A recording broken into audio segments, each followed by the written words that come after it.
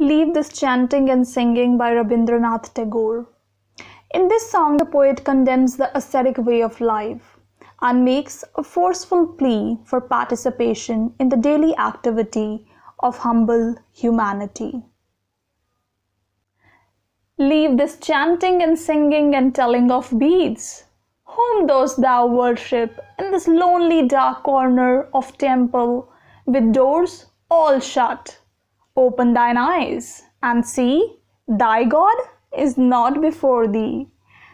The poet appeals to priests to stop chanting, singing, and telling of beads because one cannot have the grace of God by simply confining oneself to the four walls of temple and performing no duty.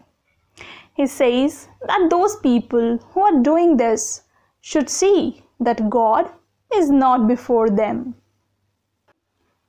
He is there where the tiller is tilling the hard ground and where the pathmaker is breaking stones. He is with them in sun and in shower, and his garment is covered with dust. Put off thy holy mantle, and even like him, come down on the dusty soil. The poet says that God is to be found where duties are being performed irrespective of scorching heat or rainy season. The poet uses the image of a farmer and pathmaker. He says that God lives with the humble and downtrodden tillers of the fields, the pathmakers who work hard at breaking stones. He lives in the company of those who toil in the sun and shower, and whose clothes are soiled with dust. If the priest wants God, he must come out of his temple, give up his holy robes, and work with the humble tillers of the soil in rain and sun. Tagore thus glorifies the humble life of labor and rejects the ascetic way of life. Deliverance? Where is this deliverance to be found? Our Master himself has joyfully taken upon him the bonds of creation. He's bound with us all forever.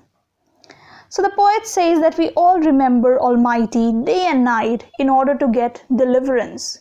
We all want to be delivered from this world to the next without any pain.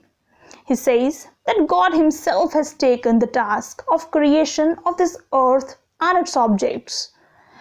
God Himself is bound to all of us in chains of love. Then why do we people want to get rid of this cycle of rebirth. Deliverance is a mere illusion.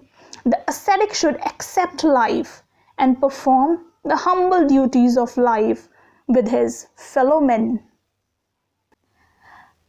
Come out of thy meditations and leave aside thy flowers and incense.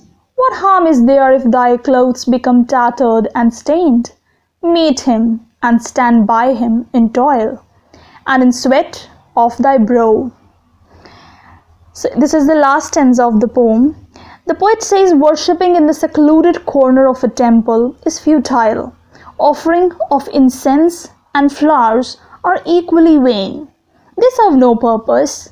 God is to be found with the poor and the humble, who earn their bread with the sweat of their brow.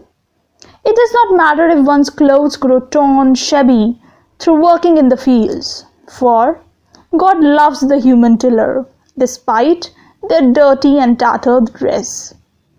Participation in the activity of life is essential for God realization. Thus, Tagore differs from other mystics. He advocates acceptance of life and its activities and not a rejection of it. That's all for today's video.